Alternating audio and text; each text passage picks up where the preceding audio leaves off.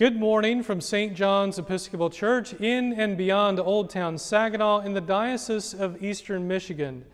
Today is July the 12th of 2020, the sixth Sunday after Pentecost. The bulletin for today's Liturgy of the Word can be downloaded from our Facebook and YouTube post, as well as the St. John's website. With you at home, this is St. John's and St. Matthew's worshiping together online.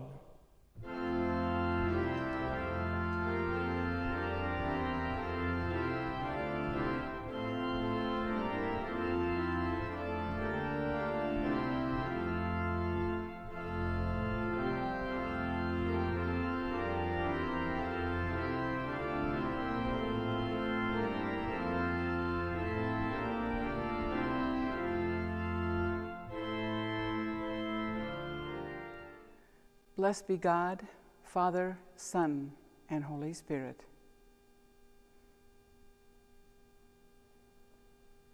Almighty God, to you all hearts are open, all desires known, and from you no secrets are hid.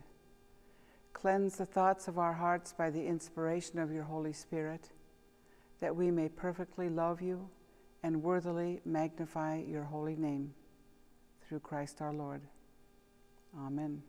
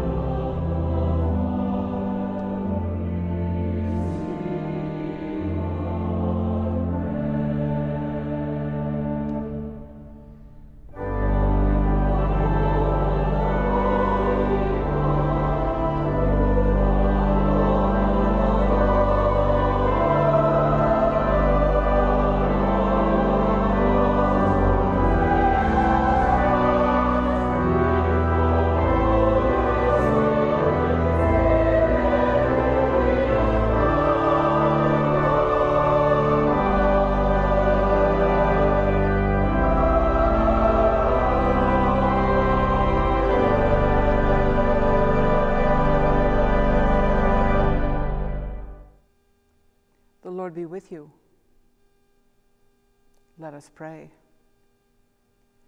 O God, you have taught us to keep all your commandments by loving you and our neighbor. Grant us the grace of your Holy Spirit that we may be devoted to you with our whole heart and united to one another with pure affection. Through Jesus Christ our Lord, who lives and reigns with you and the Holy Spirit, one God, forever and ever.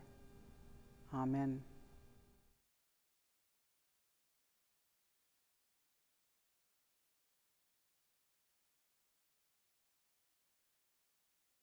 Reading from the book of the prophet Isaiah. As the rain and the snow come down from heaven, and do not return there until they have watered the earth, making it bring forth and sprout, giving seed to the sower and bread to the eater. So shall my word that goes out from my mouth. It shall not return to me empty, but it shall accomplish that which I propose, and succeed in the thing for which I sent it. For you shall go out in joy, and be led back in peace. The mountains and the hills before you shall burst into song, and all the trees of the field shall clap their hands. Instead of the thorn shall come up the cypress. Instead of the brier shall come up the myrtle. And it shall be to the Lord for memorial, for an everlasting sign that shall not be cut off. The word of the Lord.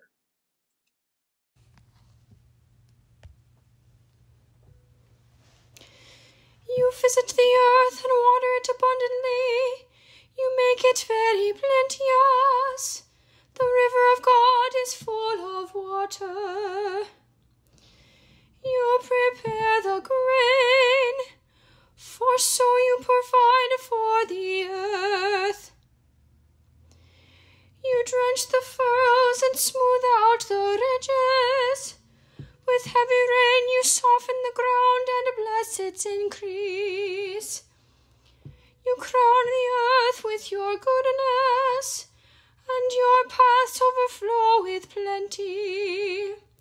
May the fields of the wilderness be rich for grazing, and the hills be clothed with joy.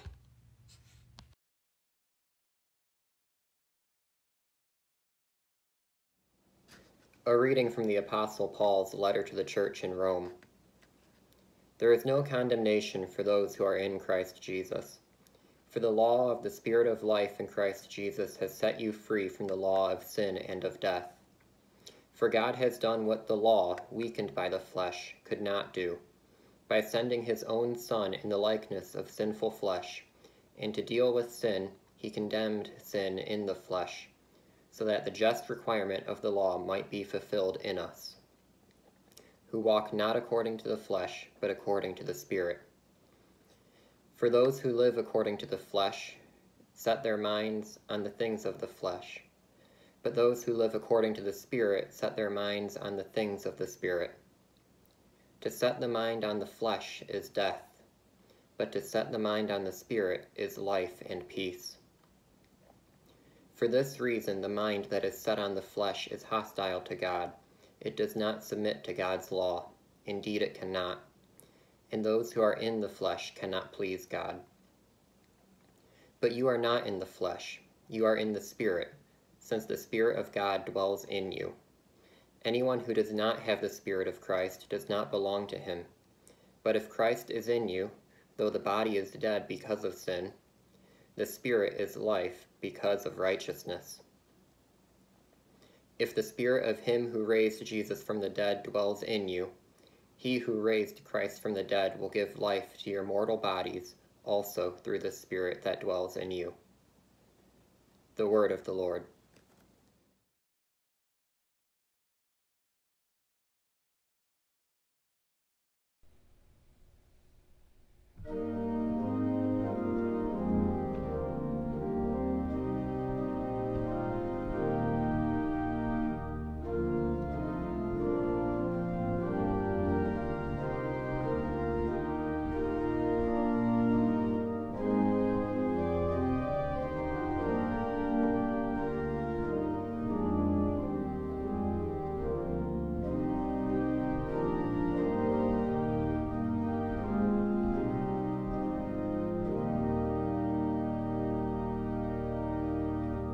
The Holy Gospel of our Lord Jesus Christ according to Matthew. Glory to you, Lord Christ. That same day, Jesus went out of the house and sat beside the sea. Such great crowds gathered around him that he got into a boat and sat there while the whole crowd stood on the beach. And he told them many things in parables, saying, Listen. A sower went out to sow, and as he sowed, some seeds fell on the path, and the birds came and ate them up. Other seeds fell on rocky ground where they did not have much soil, and they sprang up quickly since they had no depth of soil. But when the sun rose, they were scorched, and since they had no root, they withered away. Other seeds fell among the thorns, and the thorns grew up and choked them. Other seeds fell on good soil and brought forth grain, some a hundredfold, some sixty, some thirty. Let anyone with ears listen. Hear then the parable of the sower. When anyone hears the word of the kingdom and does not understand it, the evil one comes and snatches away what is sown in the heart. This is what was sown on the path. As for what was sown on rocky ground, this is the one who hears the word and immediately receives it with joy. Yet such a person has no root, but endures only for a while. And when trouble or persecution arises on account of the word, that person immediately falls away. As for what was sown among thorns, this is the one who hears the word, but the cares of the world and the lures of wealth choke the word, and it yields nothing. But as for what was sown on good soil, this is the one who hears the word and understands it, who indeed, who indeed bears fruit and yields in one case a hundredfold, in another sixty, and in another thirty. The gospel of the Lord. Praise to you, Lord Christ. In the name of God, Father, Son, and Holy Spirit. Amen.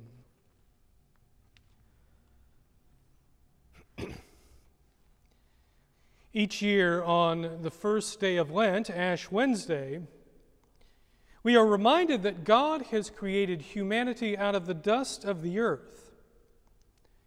When ashes from burned fronds from the previous Palm Sunday are imposed in the shape of the cross on our foreheads, we are confronted with the sobering truth, which echoes Psalm 103, verse 14 Remember that you are dust, and to dust you shall return. Our lives both begin and end with God. This image of humanity as dust is seen initially in Genesis chapter 2, verse 7, where in the second account of creation, we read that God formed the first human from the dust of the ground, building blocks of the created order. It doesn't matter whether or not one takes the first 11 chapters of Genesis literally the truth remains. God is responsible for bringing humanity into existence for the purposes of stewarding. We are primarily human beings and not human doings, meaning our value as human beings is not defined by what we do, as our culture tells us over and over again. Rather, what we do is to be in line with who we are in God's eyes. Humanity is created in the image of God, formed out of the dust of the ground to till and keep the earth, to cultivate the very things God desires for the entire cosmos. Smarter theologians than I say the Hebrew verbs employed in this creation story are verbs commonly associated with pottery. Such verbs allow us to imagine God sitting at a potter's wheel, God as an artist, God forming and shaping humanity, getting dirt, water, and eventually mud under the divine fingernails, while molding the image inherent in the raw materials. In today's gospel lesson from Matthew, Jesus paints a picture of humanity as a somewhat different kind of dirt. Jesus refers to us as soil in a positive way. In the parable which begins in chapter 13, verse 3, Jesus says there is a sower. And sowers, to state the obvious, well, sowers sow seed. This particular sower casts seed, which, as we learn in verse 19, is the word of the kingdom. Seed which contains the potential to blossom as the sower intends. Now, what exactly is this seed that is the word of the kingdom?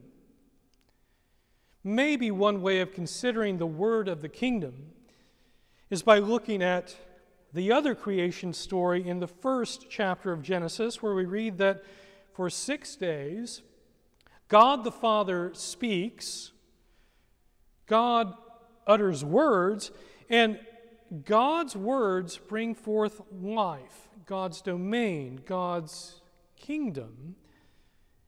And God sees that what God speaks is good.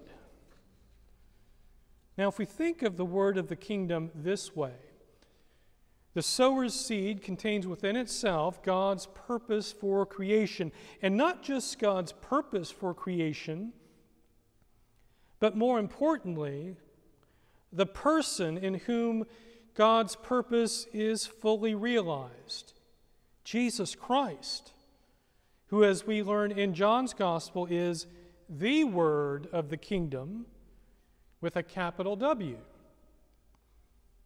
When the sower casts the seed, there are, of course, different places the seed lands, and where it lands determines what happens next.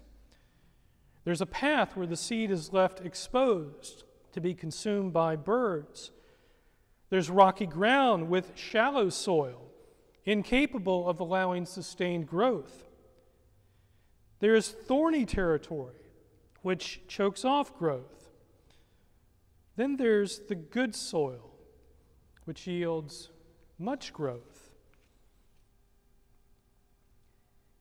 Pam, Mary Jo, and I have had to preach a lot of sermons recently, which, in different ways, have attempted to address the challenging issues our, our nation and our world are dealing with right now. It's important for us to preach such sermons. But when we do, and I'll speak only for myself here, whenever I preach a sermon, I run a risk of drawing one's attention to the way I naturally approach an issue and away from how God speaks in Scripture. So I have to ask myself do my words in an atmosphere of heightened tensions represent more of God's will or my own? Do I speak only from a desire to make myself look good to my congregation or denomination?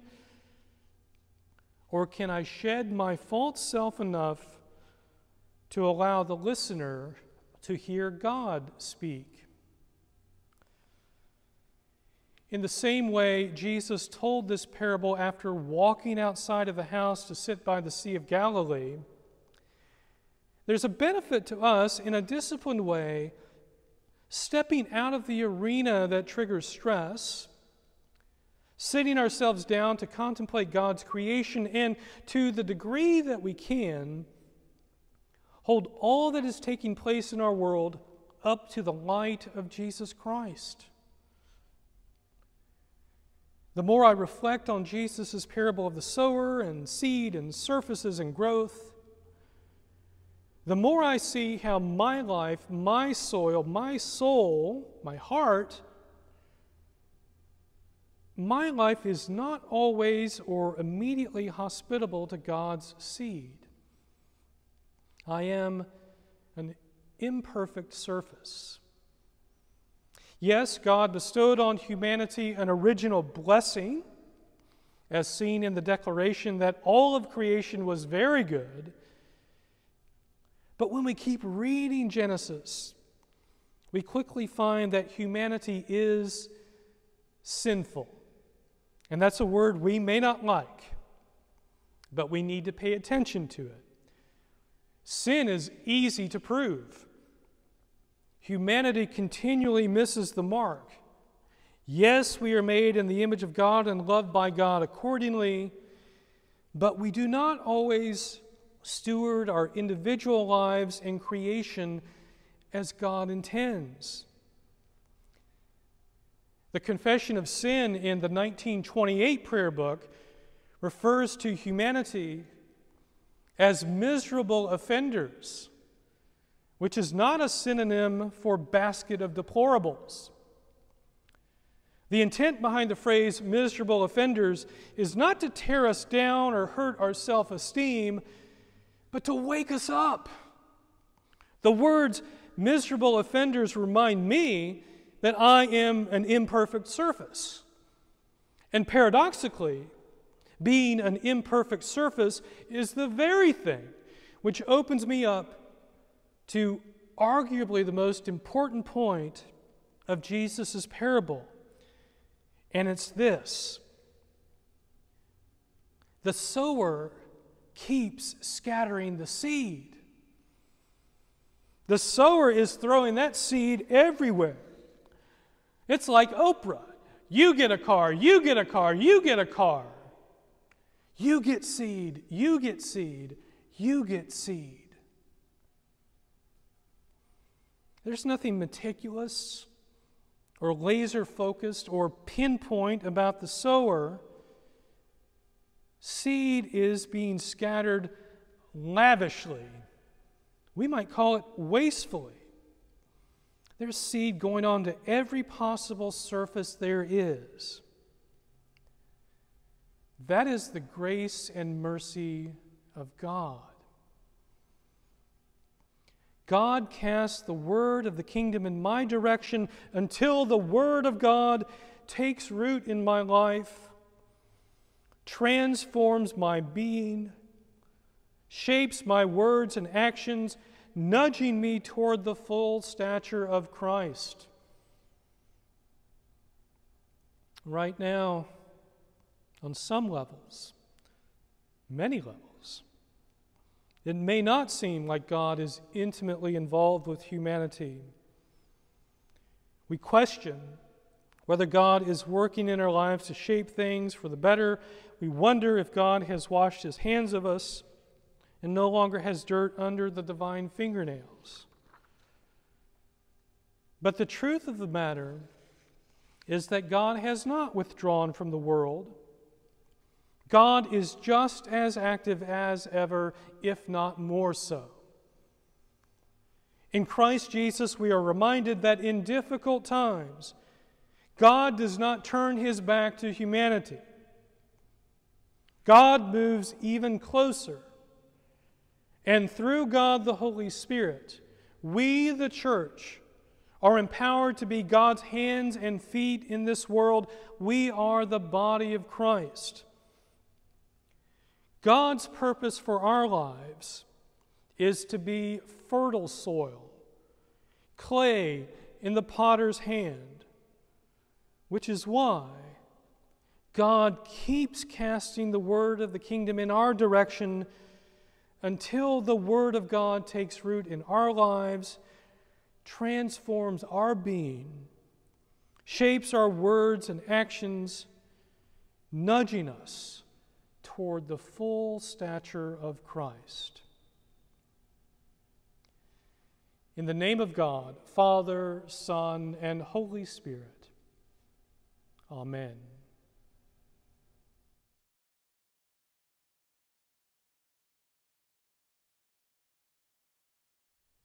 Let us profess our faith by saying the Nicene Creed. We believe in one God, the Father, the Almighty maker of heaven and earth, of all that is seen and unseen.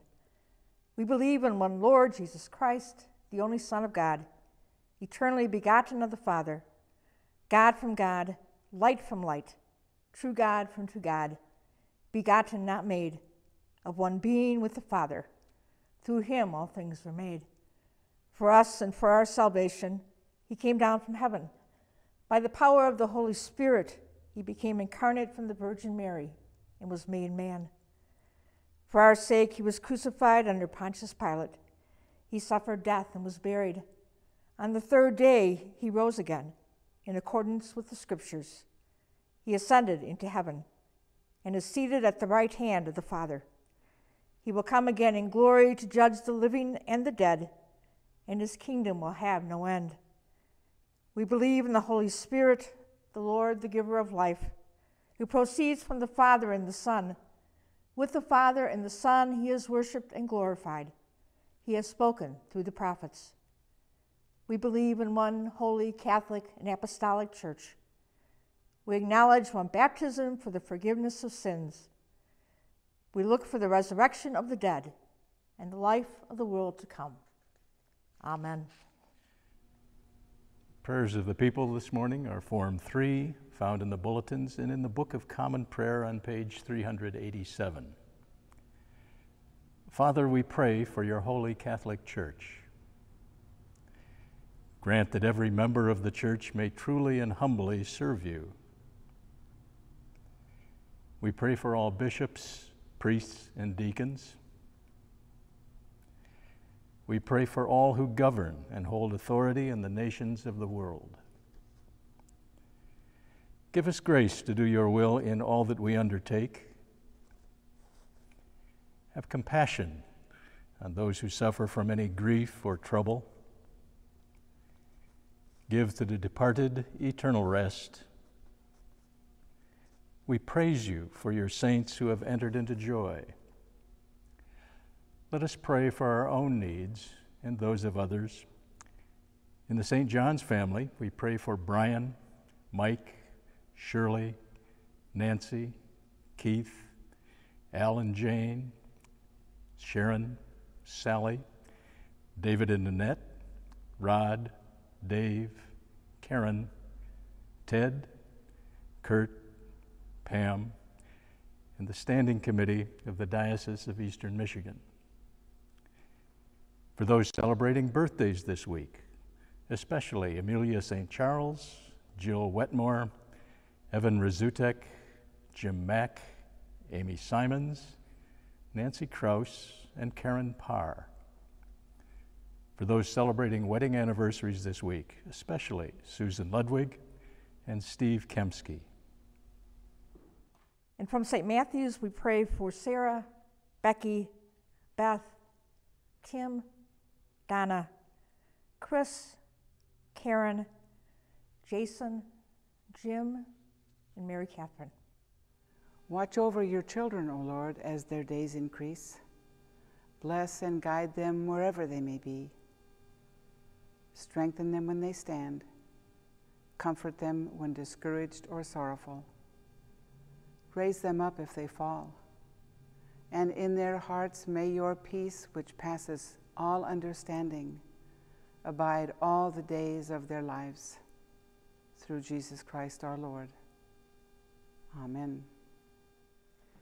God the Father, God the Son, God the Holy Spirit, bless and preserve and keep you. The Lord mercifully with his favor look upon you and fill you with all spiritual benediction and grace, that you may faithfully live together in this life and in the age to come, have life everlasting. Amen. Almighty and eternal God, ruler of all things in heaven and earth, mercifully accept the prayers of your people and strengthen us to do your will through Jesus Christ our Lord. Amen. Let us confess our sins against God and our neighbor.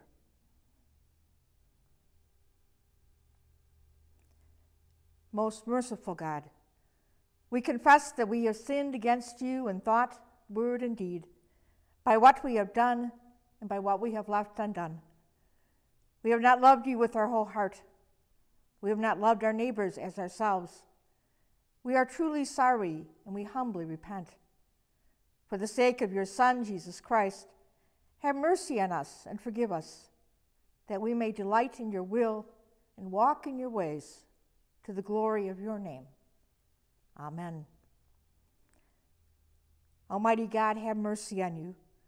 Forgive you all your sins through our Lord Jesus Christ. Strengthen you in all goodness, and by the power of the Holy Spirit, keep you in eternal life. Amen. The peace of the Lord be always with you, and also with you. Yours, O Lord, is the greatness, the power, the glory, the victory, and the majesty. For everything in heaven and on earth is yours. Yours, O Lord, is the kingdom, and you are exalted as head over all.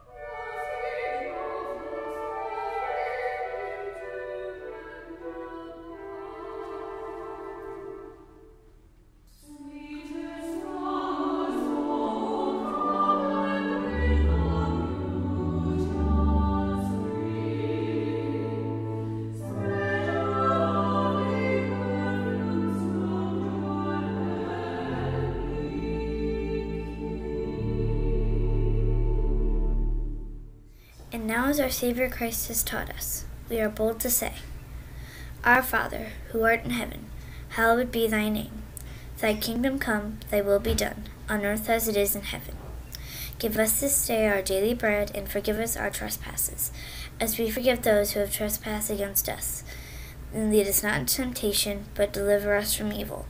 For thine is the kingdom, the power, and the glory, forever and ever. Amen. In union, blessed Jesus, with the faithful gathered at every altar of your church where your blessed body and blood are offered this day, I long to offer praise and thanksgiving for creation and all the blessings of this life, for the redemption won for us by your life, death, and resurrection, for the means of grace and the hope of glory. I believe that you are truly present in this holy sacrament. And since I cannot at this time receive communion, I pray you to come into my heart. I unite myself with you and embrace you with all my heart, my soul, and my mind. Let nothing separate me from you. Let me serve you in this life until, by your grace, I come into your glorious kingdom in unending peace. Amen. The grace of our Lord Jesus Christ and the love of God and the fellowship of the Holy Spirit be with us all evermore. Amen. Go in peace to love and serve the Lord. Thanks be to God.